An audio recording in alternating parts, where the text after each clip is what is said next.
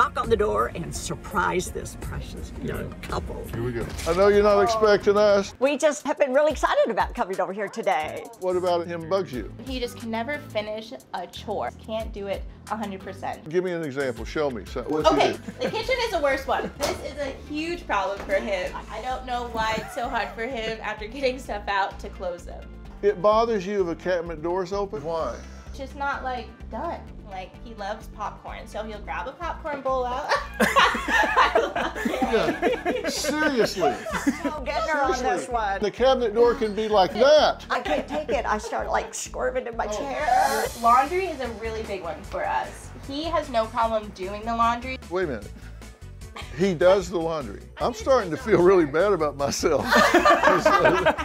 I see so much fun in your future, and the little things you're talking about are truly little things.